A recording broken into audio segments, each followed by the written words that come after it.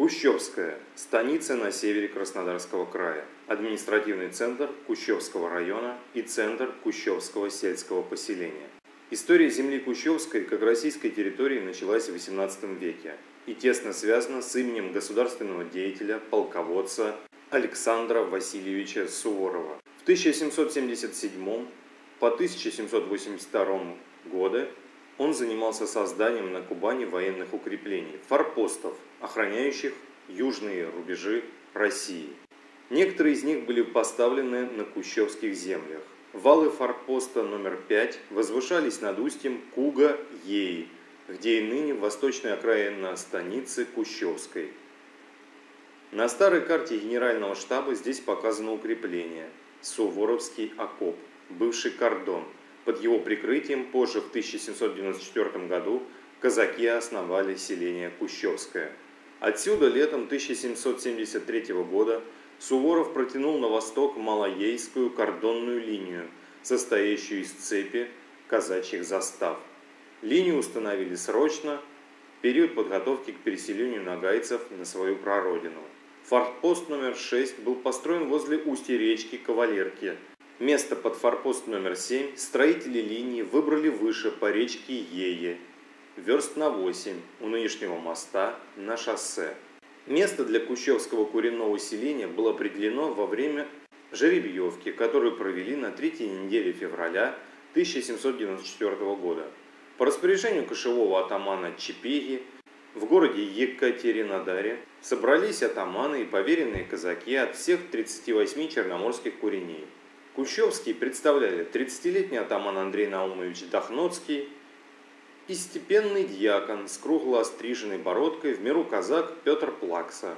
При большом стечении народа на площади перед Свято-Троицкой церковью по старому запорожскому обычаю тянули жребий, уже последними, и это считалось в порядке очередности, так как курени были записаны в войске.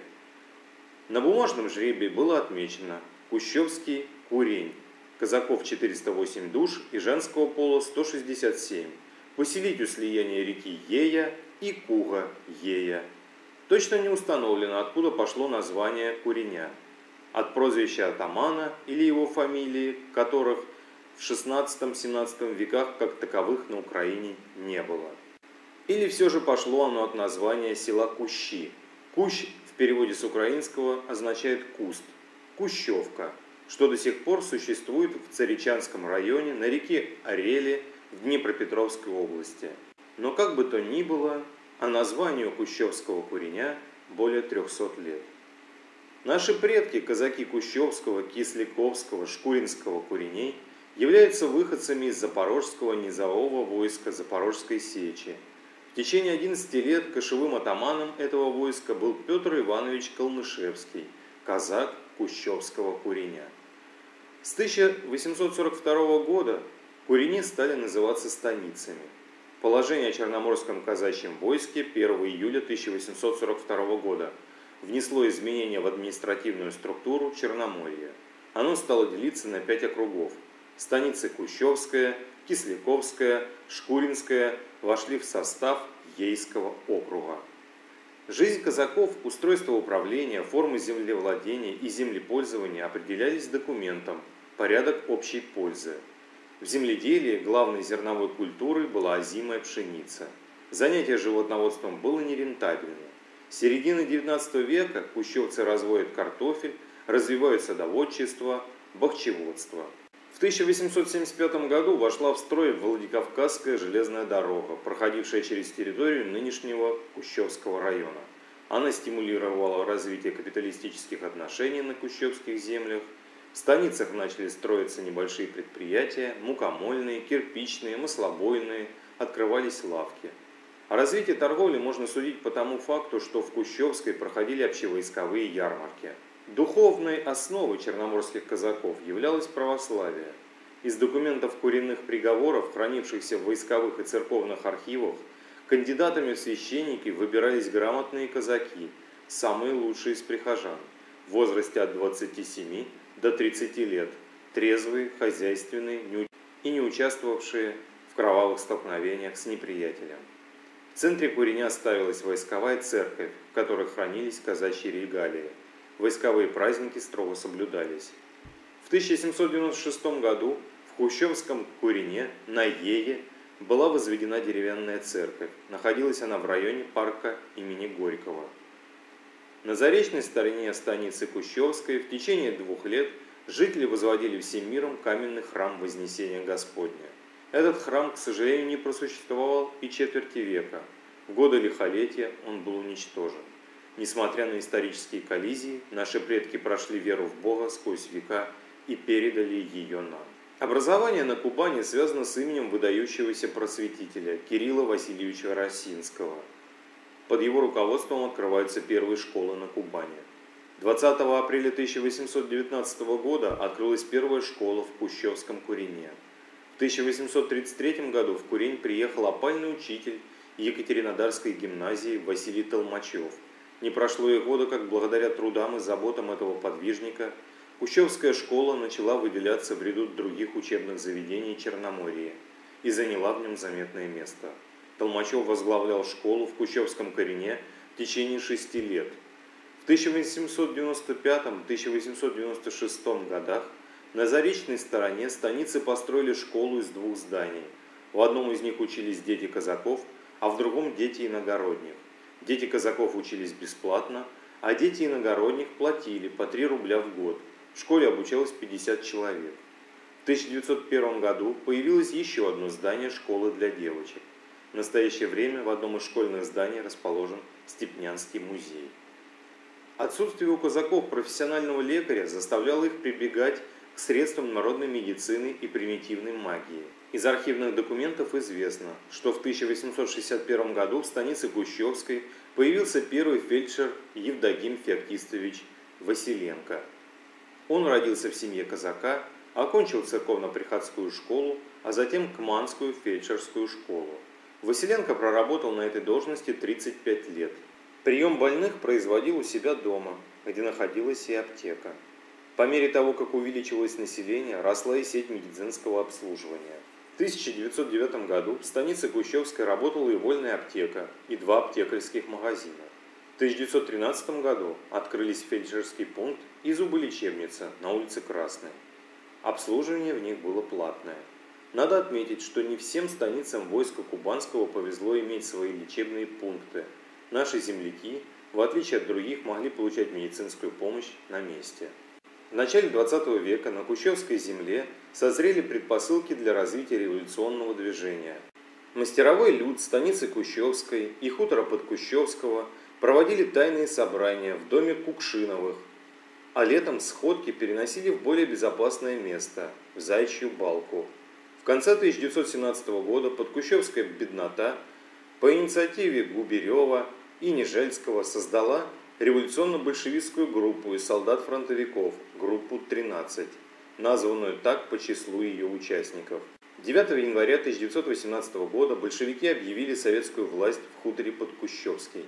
За короткое время на территории теперешнего Кущевского района было организовано 16 советов. Гражданская война – это кроваво-темное пятно в истории нашего народа и станицы. На земле Кущевской население поддерживало различные политические движения – и белое, и красное, и зеленое. На стороне красных сражались иногородние и беднейшие слои казачества. Они сформировали отряды Красной гвардии, которые участвовали в боях с белыми под Сосыкой – Кисляковской и Кущевской. В дивизии «Жлобы» и в составе команды бронепоезда «Истребитель номер один» воевали выходцы из всех хуторов и сел Кущевской территории. В июне 1918 года нависла угроза окружения деникинцами частей Красной Армии в районе Кущевская-Батайск. Удержать позиции красным не удалось.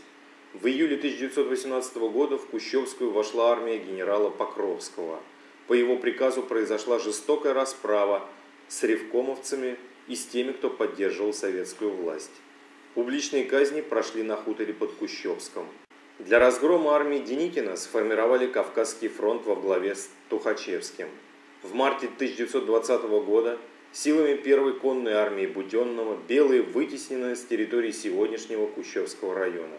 Антинародная политика большевиков – Террор со стороны белых и красных привели к рождению зеленого движения за Вильну-Кубань. На Кущевской земле действовали отряды Пацюка, Левко, Дубины и других. Бело-зеленое движение на Кубани не затихало вплоть до середины 20-х годов. За мужество и героизм, проявленные в годы гражданской войны, советское государство наградило шестерых красногвардейцев орденом Красного Знамени, а погибшим установило на Подкущевске памятник-обелиск. По рекомендации райкома партии для создания комсомольских организаций в села и станицы прибыли коммунисты. Дата рождения первой комсомольской ячейки в станице Кущевской – это весна 1920 года. В первые годы становления советской власти комсомольцы оказались в водовороте разнообразных дел. Они добровольно вступали в ряды защитников октября, становились бойцами, командирами молодой Красной Армии. В 20-е годы на улицах станиц и городов Кубани все чаще стали появляться беспризорные дети. По инициативе комсомольцев в Кущевской ячейке в станице был создан детский дом, в котором образовалась и первая в районе пионерская организация. Трагическая дата 22 июня 1941 года. Началась Великая Отечественная война. На Кубани началась эвакуация скота, техники, вывозилось все, что можно. Дорога Ростов-Кущевская-Краснодар была объявлена дорогой оборонного значения. 17 июля 1942 года немецкие войска вышли к излучине Дона, заняли город Ростов-на-Дону и фронт стал проходить через территорию Кущевского района. Кущевской в эскадрон записались 264 человека. Возглавил его Рябыкин. Весть о создании кубанских добровольческих казачьих дивизий разлетелась по всему югу России. 30 июля станицу Кущевскую заняли фашисты. Оборонительные бои в районе Кущевской задержали продвижение гитлеровцев в сторону Краснодара, что дало возможность ряду других соединений фронта избежать окружения, закрепиться на новых рубежах и сыграла значительную роль в срыве намерений фашистского командования разгромить войска Красной Армии в междуречии Дона и Кубани. На подступах к станице Кущевской командир Донской сотни Недорубов Константин Иосифович со своим сыном Николаем уничтожили около 200 фашистов. Старый солдат, полный георгиевский кавалер, он был удостоен звания Героя Советского Союза. Маршал Гречко писал в мемуарах об атаке 2 августа следующее – 31 июля 216-я стрелковая дивизия 18-й армии оставила Кущевскую. Командир 17-го кавалерийского корпуса генерал-лейтенант Кириченко решил ночным налетом 15-й кавалерийской дивизии во взаимодействии с 216-й стрелковой дивизией овладеть Кущевской. В ночь на 1 августа дивизия произвела налет на станицу, но он оказался безуспешным, так как 216-я стрелковая дивизия в бою не участвовала. В следующую ночь казаки после авиационной подготовки предприняли новый налет силами 15-й и 13-й кавалерийских дивизий и одной танковой бригады. Завязались ожесточенные бои за станицу. Три раза Кущевская переходила из рук в руки, 216-я дивизия и на этот раз не оказала поддержки казакам. В итоге кавалерийский корпус отошел на исходные позиции. В этих ночных атаках на Кущевскую казаки 13-й кавалерийской дивизии уничтожили более одной тысячи гитлеровцев и около 300 взяли в плен. За умелые боевые действия, за отвагу личного состава 27 августа 1942 года Кубанскому казачьему корпусу, всем его дивизиям и полкам было присвоено звание «Гвардейский». 2 февраля 1943 года станица Кущевская и Кущевский район были освобождены частями 151-й стрелковой дивизии. В этот день была одержана маленькая и одновременно великая победа. С 1945 года по 1946 в Кущевском районе шло восстановление народного хозяйства. 18 марта 1946 года партией и правительством был утвержден четвертый пятилетний план – Главными его направлениями были восстановление районов страны, пострадавших от войны, достижение довоенного уровня развития народного хозяйства. В 1949 году в районе для защиты растений от ветров и полевых бурь начали применять систему лесополос. В 1951 году Кущевский лесопитомник занял первое место в списке из 380 лесопитомников страны – вырастив 41 миллион саженцев. В годы войны была разрушена Кущевская электростанция. В апреле 1950 года на 12-й сессии районного совета вынесли решение электростанцию ввести в строй. Не было в районе и воды, жители пользовались общественными колодцами. В 1951 году началось строительство водопровода в станице Кущевской. Радостно встретили кущевцы восстановление радиоузла. В эти годы идет расширение Кущевского рынка – На его территории строятся крытые павильоны, а в центре возводится скульптура-монумент «Слава труду». Большое внимание уделялось и образованию. В 1951 году действовало 50 школ. Были открыты учебно-консультативный пункт заочной средней школы, три школы сельской молодежи, детский дом, детский сад, 11 интернатов. В 1953 году на улице Красной выросло здание районной библиотеки – восстановлен Центральный кинотеатр. С 1949 по 1967 годы в Кущевском районе первым секретарем райкома партии работал С.Т. Куцев, участник Великой Отечественной войны, герой социалистического труда, награжденный тремя орденами Ленина, орденом Трудового Красного Знамени. За 18 лет на своем посту Сергей Терентьевич вывел Кущевский район число передовых. За 1957 по 1960-е годы в районе построено 17 школ. В 1960 году был открыт Дворец культуры в станице Кущевской. В 70-е годы главной фигурой на селе становится механизатор. Благодаря преподавателям и мастерам из ПТУ-13, позже ПТУ номер 55, хозяйства района пополнялись молодыми специалистами. В районе формировался промышленный сектор, крупными предприятиями являлись райпищекомбинат Кущевский, молокозавод, мясоптицекомбинат, спиртзавод, винзавод, хлебозавод, птицефабрика Кущевская. К 1965 году в районе действовали различные медицинские учреждения. Особое внимание уделялось предприятиям, обеспечивающим технический прогресс, литейно-механический завод, Кущевское управление газопроводов, автотранспортное предприятие. К 1965 году в районе действовали различные медицинские учреждения. С 1976 года по 1980 при районной больнице открыто хирургическое, травматологическое, глазное, наркологическое отделение. Организовано дополнительно еще 4 круглосуточных наряда скорой помощи. В 1970 году вводится всеобщее среднее образование. В 1983 году первым секретарем Кущевского райкома партии стал Иван Михайлович Петренко. Желание вытащить район из отстающих и работа на износ дали свои результаты. Так 1983-1985 годы отмечены подъемом экономики. На полях выращивалось более 30 видов культур, развивалось молочное и мясное производство. В 1987 году правительство объявило о переводе предприятий на полный хозрасчет, самоокупаемость, самофинансирование и самоуправление. 1 января 1988 года введены новые методы хозяйствования. В это же время открыт простор для частной деятельности и развития кооперативного движения.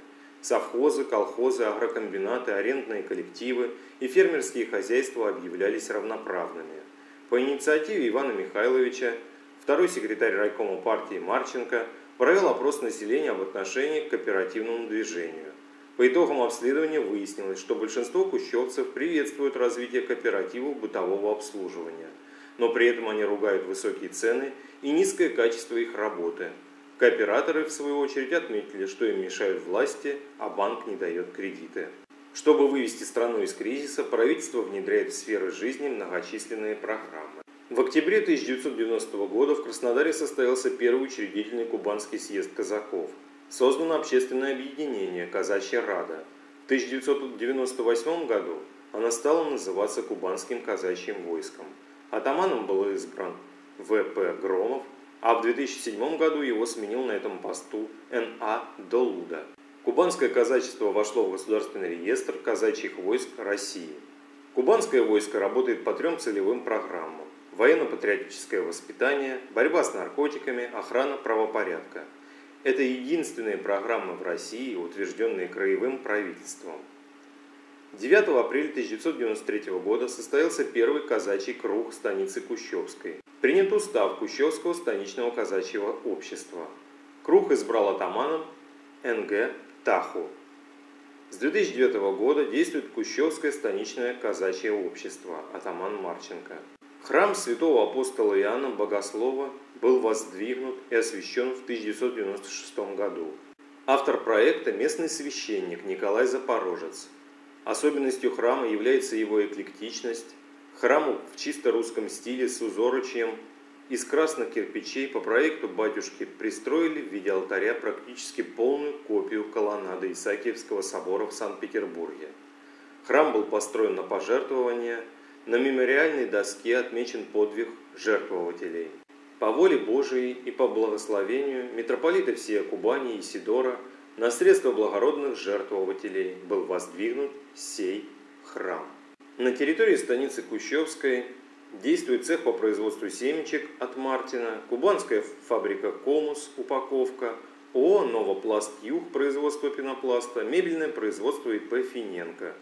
Также производится выращивание зерновых культур – кукурузы, пшеницы, овса, ячменя, сахарной свеклы, подсолнечника.